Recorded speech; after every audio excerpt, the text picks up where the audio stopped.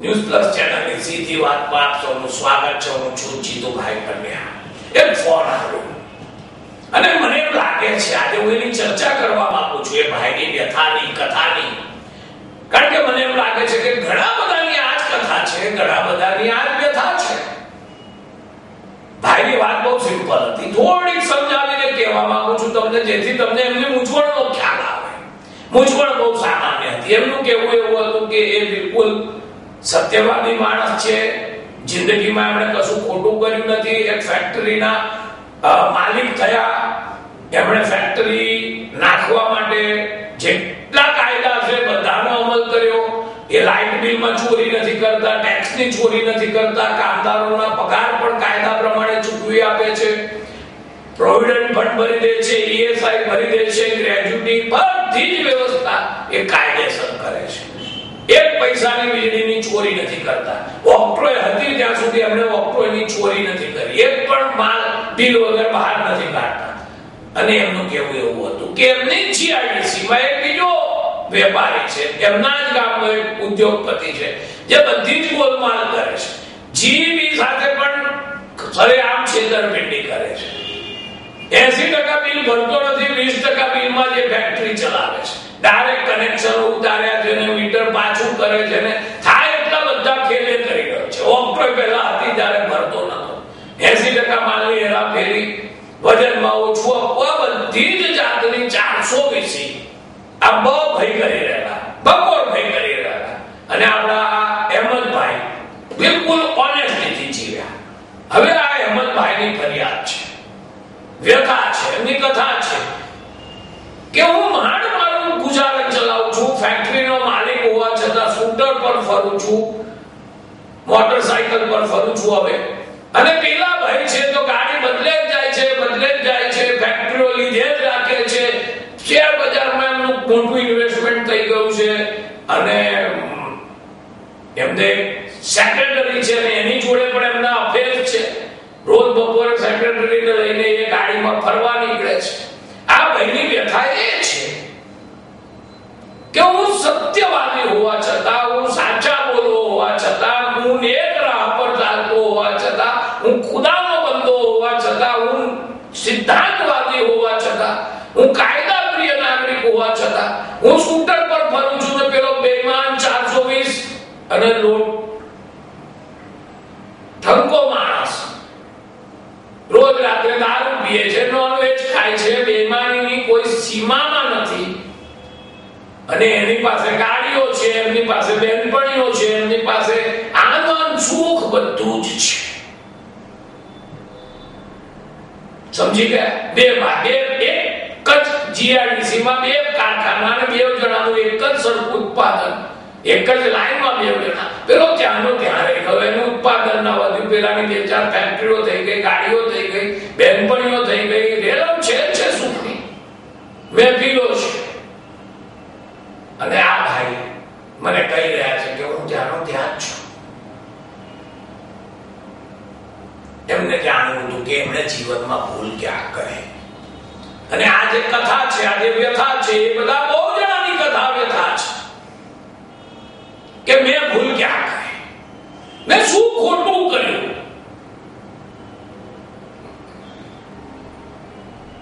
સવાલ બહુ પેચીદો છે.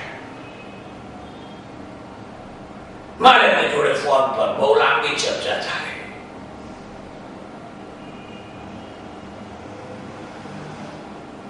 જે લોકોને આ પ્રશ્ન છે, આ યક્ષ પ્રશ્ન છે જીવનમાં, એ બધાને આજે હું થોડીક વાત કહેવા માંગુ છું પહેલી વાત તો એ છે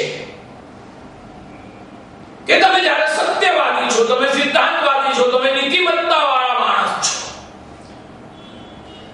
તો એવું સમજો કે તમે ઈશ્વરના નજીકના માણસ સામાન્ય રીતે ઈશ્વર તમને સામાન્ય રીતે ઈશ્વર તમને સત્યવાદી રહેવા દેતો નથી. ઈશ્વરની તો ઈચ્છા છે કે તમે સત્યવાદી રહો નીતિવાન રહો.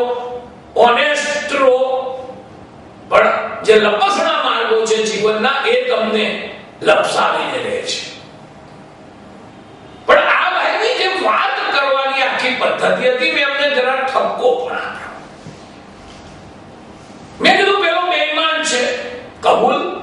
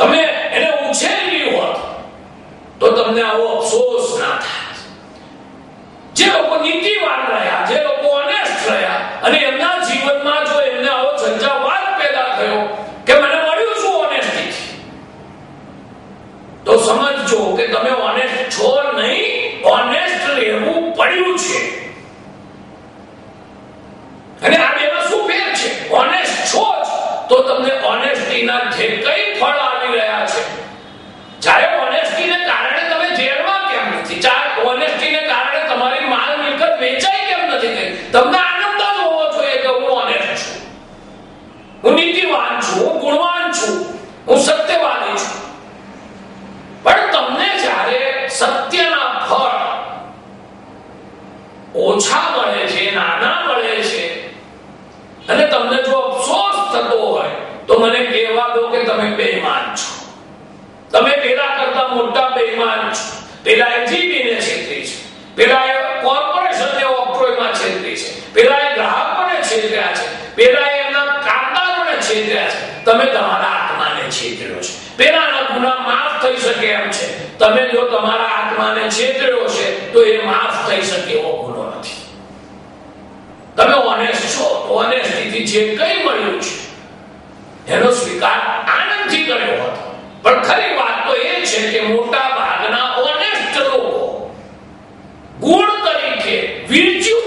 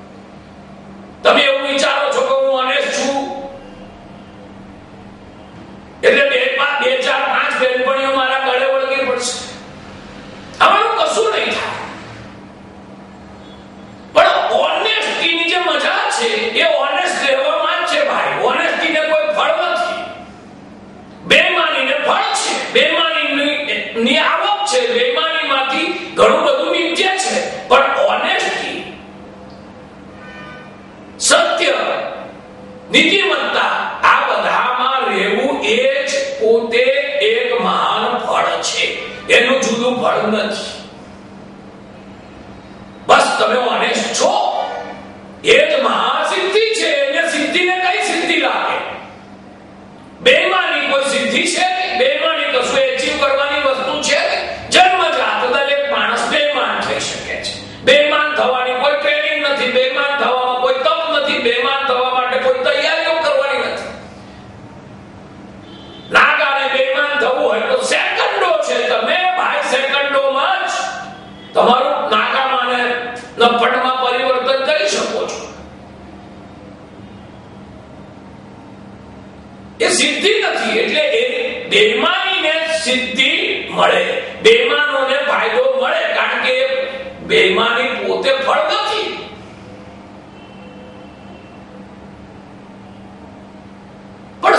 સત્ય ઓનેસ્ટી નીતિમત્તા ગુણવત્તા આ બધા તો પોતે જ ફળ છે ઝાડ ઉપર ફળ લાગે પણ ફળ ઉપર ફળ ન લાગે એટલે બેમાની ઝાડ છે એની પર સુખ સગવડ આનંદ મોર લોભ આ બધાના ફળ બહુ બધા લાગશે ભાઈ તમને ગાંઠ પણ થઈ જશે ઘણા બધાને તો બહુ તકલીફ થાય છે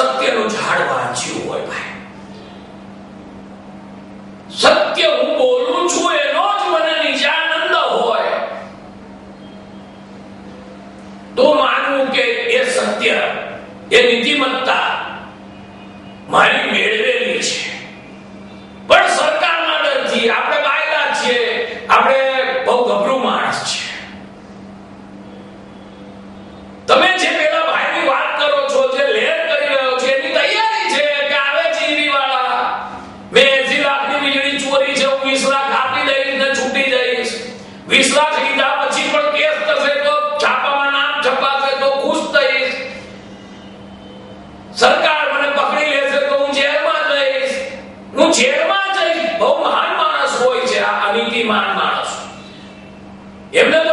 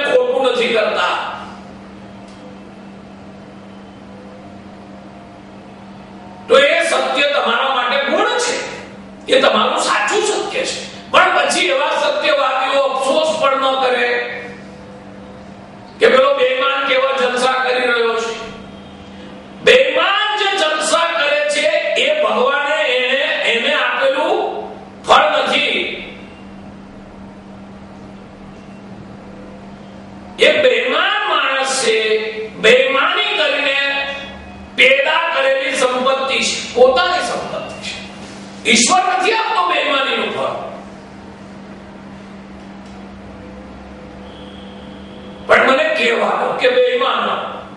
નાગાઓ નફટો ગુંડાઓ એ બાબતમાં બહુ તાત્વિક રીતે બહુ સારા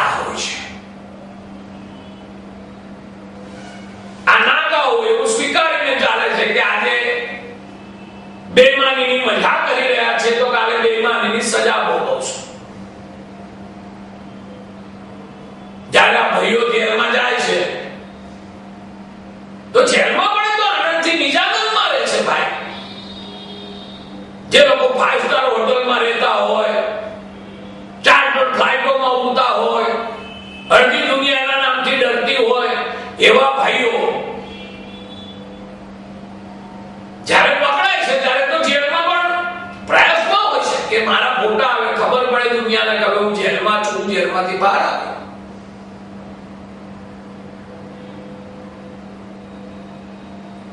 કોઈ ગુંડાને જેલમાં જતા રડતા નથી જોયો. હું તો પોતે ક્રિમિનલ વકીલ છું, ઘણા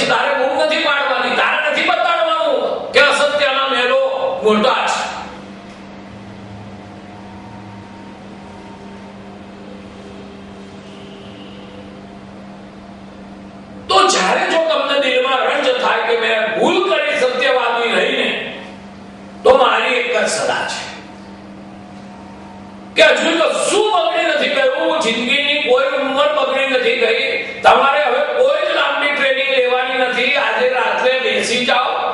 નહીં, કોઈને પથારીમાં નક્કી કરી કાલથી જોઈ લો, મારા જેવો કોઈ બેમાન છે વડોદરામાં? સુરતમાં, ભરૂચમાં? નક્કી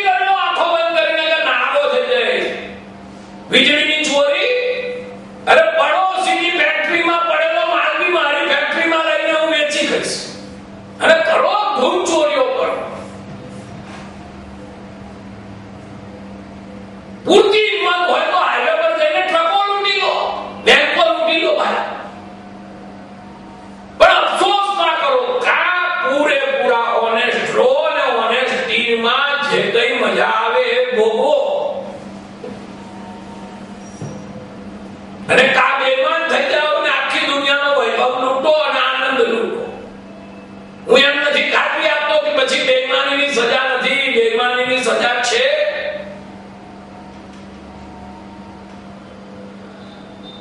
બેઈમાનીની પણ સજા છે. પણ એ બહુ મોડી આવે છે.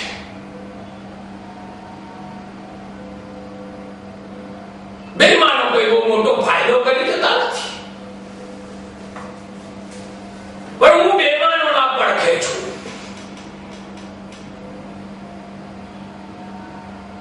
કારણ કે એવો અનેસ્ટ માણસો છે સંસારમાં એ સ્વીકારે છે કે અમે નાલાયક છીએ ગુંડા છીએ બેમાન છીએ ફરેબ છીએ અમે ધોકેબાજ છીએ એમના ચેક રિટર્ન થાય ને નામ છપાય તો પણ એમને આનંદ આવે છે કે ચાલો આજે મારું નામ આવ્યું છાપા મારા છે બે ચાર મિત્રો ફોન આવે સવારે કે જીતુ આજે જોયું સંદેશ વાંચ્યું મેં કીધું ના નથી લીધું હજુ સંદેશ હાથમાં સંદેશ છ નંબરનું પાન ખોલ આપણે પાન ખોલીએ કે શું છે જોજો આપણું નામ છે ચેક રિટર્નમાં બાવીસ લાખનો ચેક આપણો પાછો ગયો એમાં પેલા ફરિયાદ કરી છે તો મેં કીધું ભાઈ હવે પણ આ કંઈક તારી પાસે પૈસાની તો કમી નથી. તો મને કે, અનુજભાઈ પાસે પૈસાની કમી છે? મેં તો, ના. તો કે, એમણે ભર્યા બેંકના પૈસા. મેં તો, ના. તો કે, બે ના ભર્યા. તો તો કરવા શું માંગે છે? તો મને કે, ચાર વર્ષ પાંચ વર્ષ તો આ કેસ ચાલશે જ કીધું ભાઈ. મેં તું ચાલશે. મને કે બાવીસ લાખ પછી દસ બાર લાખ પર નહીં આવી જાય કે? મેં તું આવી જશે તું વચ્ચે હમણાં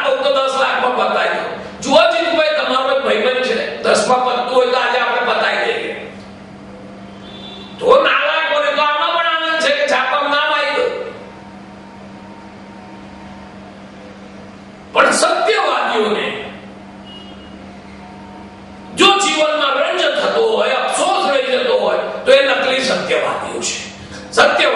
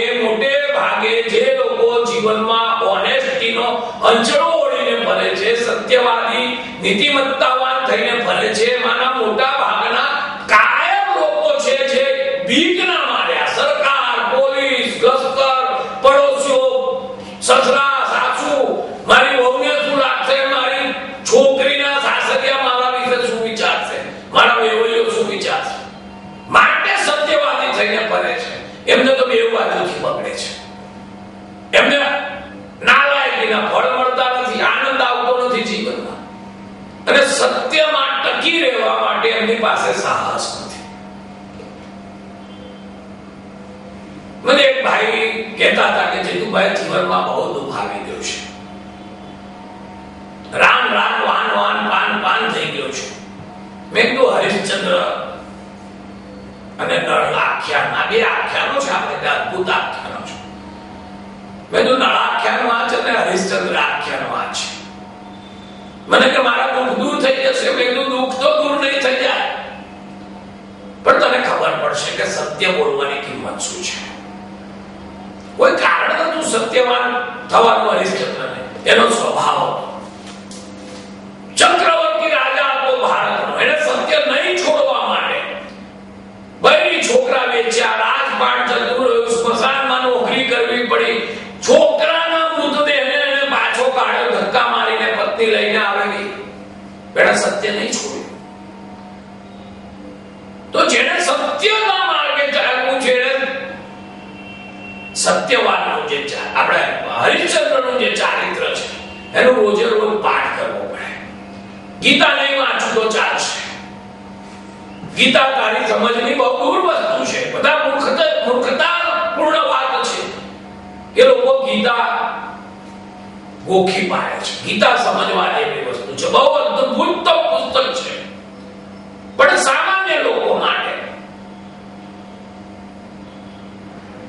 ગીતાના શ્લોકો કરતા નળાખ્યાન અને હરિશ્ચંદ્રનું આખ્યાન છે. એ તમને નીતિમત્તામાં જીવવાનું ભારે પ્રેરક બળ પૂરું પાડશે.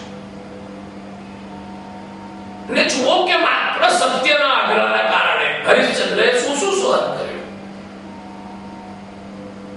એ તૈયારી ન હોય તો આપણે વેળાસર બહુ જલ્દી આ બધા નીતિમત્તાના પોટલા અભરાય પર ચડાવી દઈએ.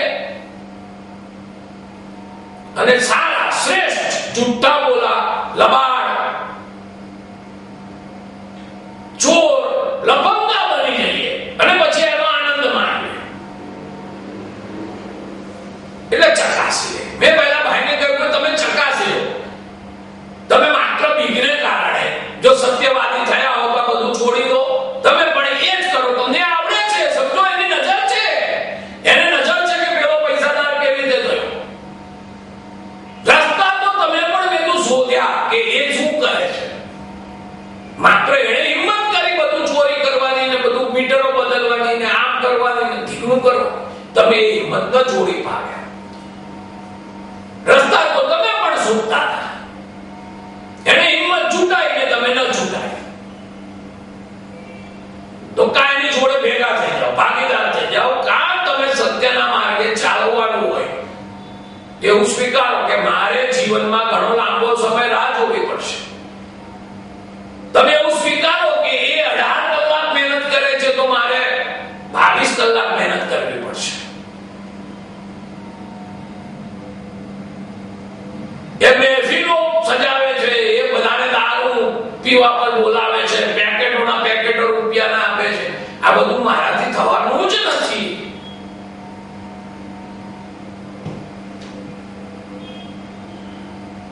આ બધું નહીં કરું, કરવા માંગતો નથી.